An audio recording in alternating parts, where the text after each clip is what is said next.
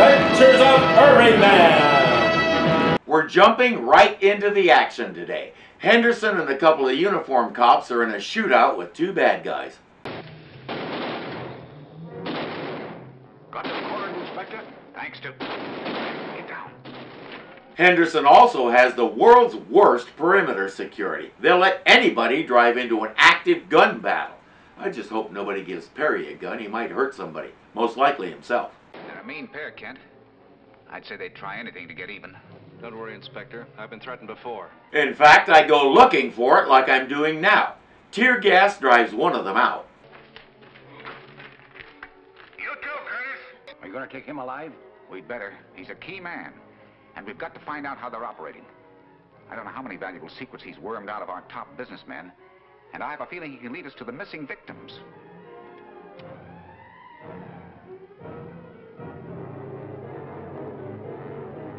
World's worst perimeter security and world's most observant cops. Somebody, please come up with an appropriate award to give this department for their excessive professionalism. I'll pin the best one. Just remember, keep it clean. The guy in the shack lights a stick of dynamite and is going to throw it at the police.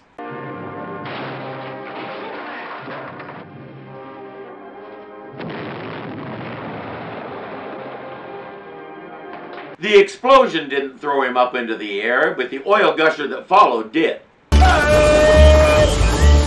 With both bad guys caught, Clark is back standing with the group. Lieutenant, I made the deal. I'll spill it. We got no choice, Kent. We're caught. Give him the money. Money? What money? What are you talking about? Now, don't try to clam up on me. You know where the money is.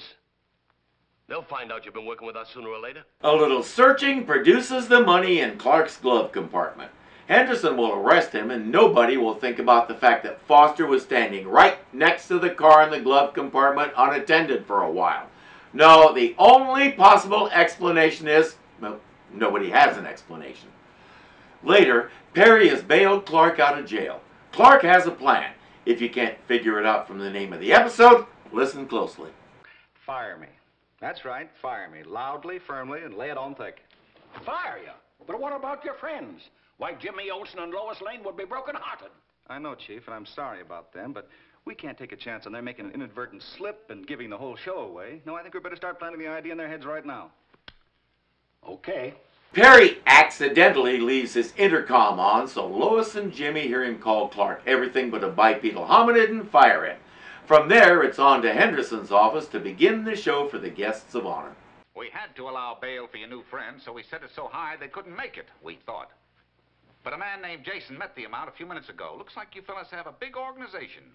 What are you doing, pal? Turning state's evidence? No, very funny. I know you're framing, and you know it too, but nobody else will believe it. In reality, they made sure Curtis and Foster's bail was low enough that almost anybody could cover it. Clark makes a show of not being able to find a job, and Henderson says, just stay in town and keep your noses clean, all of you. Clark storms out. You mean you don't wear a suit and tie to relax at home? Hmm.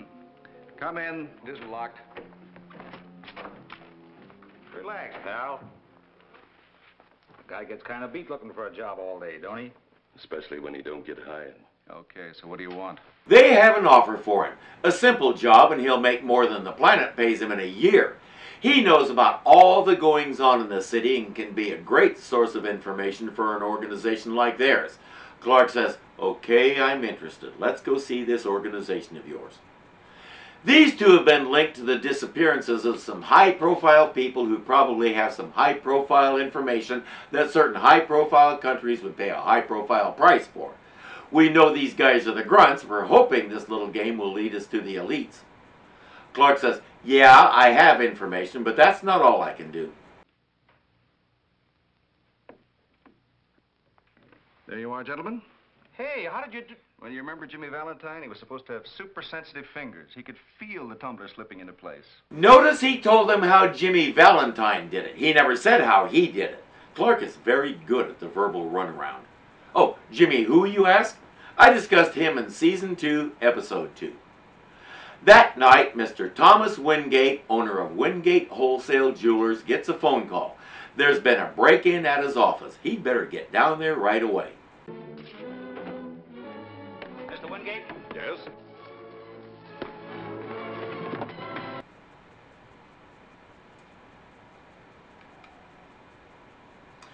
When Mr. Wingate wakes up, he's thoroughly confused.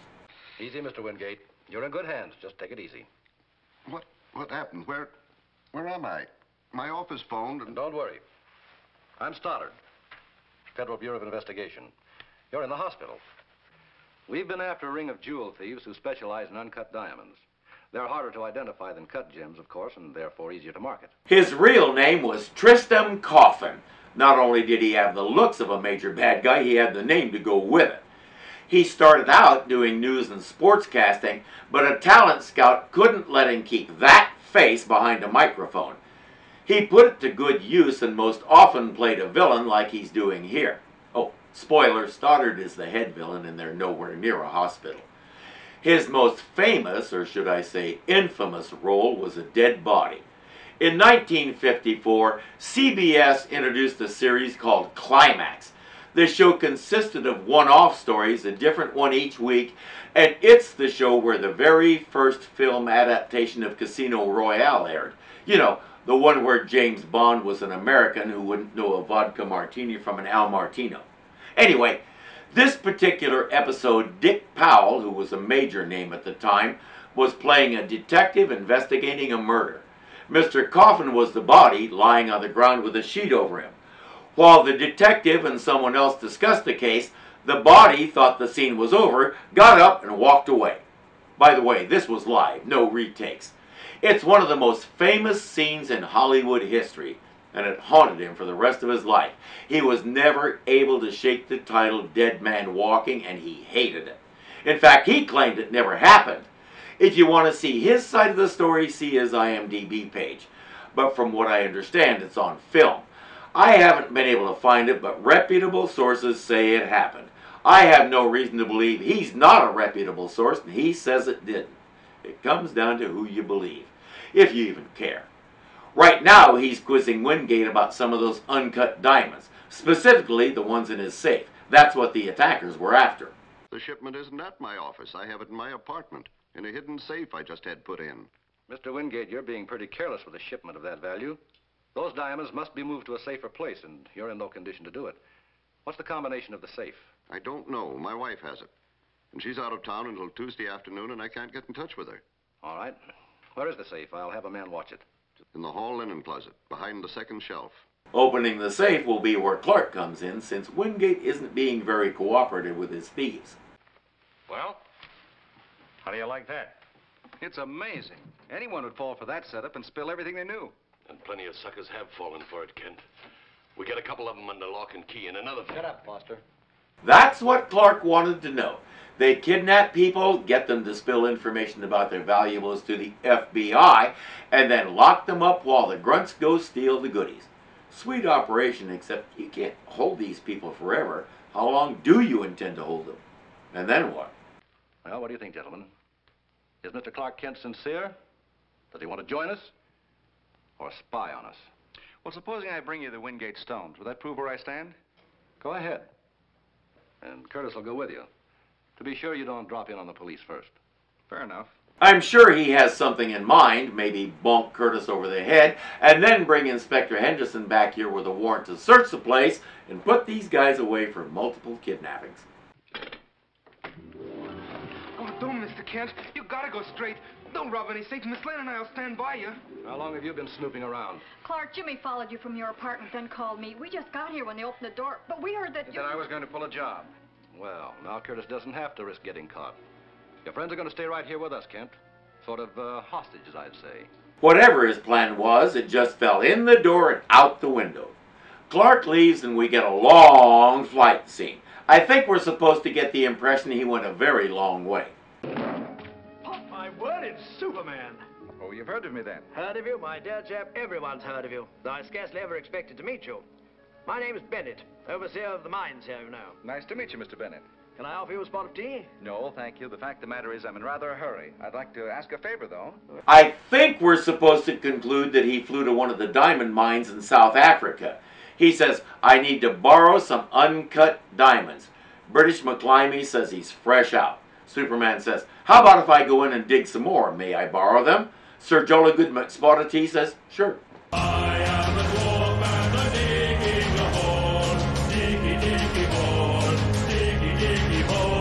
With the right number and size diamonds, Superman is ready to go deliver them to Stoddard. By way of Clark Kent, of course.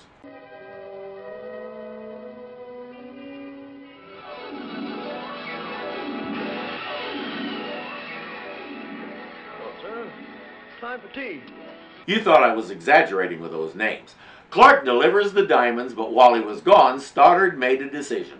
We're pulling out of Metropolis. It's too hot here. You want to come with us? What about them? We can turn loose the people we're already holding. They only saw my secretary Ann and myself, and then only under conditions of shock. But your friends here, they've been foolish enough to meet all of us and to sit in on an actual job. We think they should be, shall we say, eliminated. He says, Any objections? Clark says, No, the sooner the better. I can't stand to look at him. But he'll have to, at least for a while longer, because Stoddard isn't finished. You're elected to get rid of him. And this time, Curtis will go with you. Tell him he's crazy, Mr. Kent. You're not going to do anything like that, are you? Why not? In the rackets, it's dog eat dog, isn't it? I'll be back in without him. Come on. You had to know that was coming. Clark wants to do it in Perry White's office so he can get a little revenge on his former boss, too. It. Burglar alarm. Perry showed in this a long time ago. Okay, in. He and Curtis tie Lois and Jimmy back to back in a pair of chairs, and then Clark goes to work.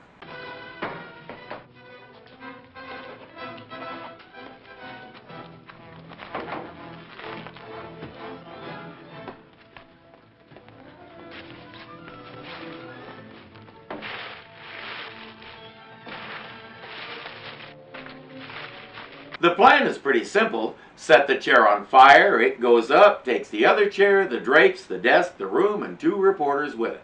Curtis is impressed, but back at HQ, Stoddard isn't.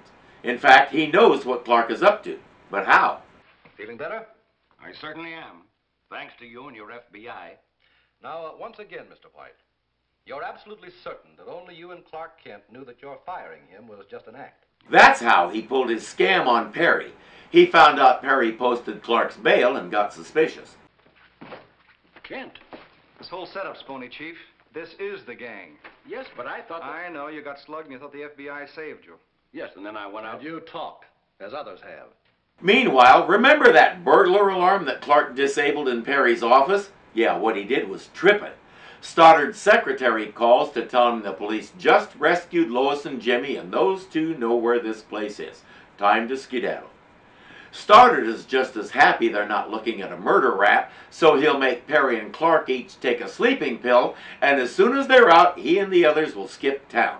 That shouldn't take more than about 20 minutes, depending on how long ago they ate. Take that. You two.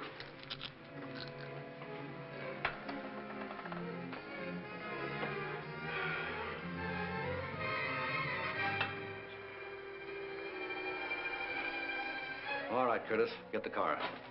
I keep forgetting that TV pills work instantly, and I still want to know why we don't get those kinds of pills. It's a secret plot to make us go crazy from waiting. Somebody call the evening noise news.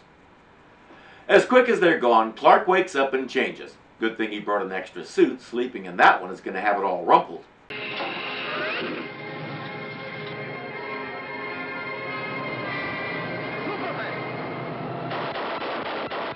They always try it. It's not like these guys don't know who Superman is, but they always try it.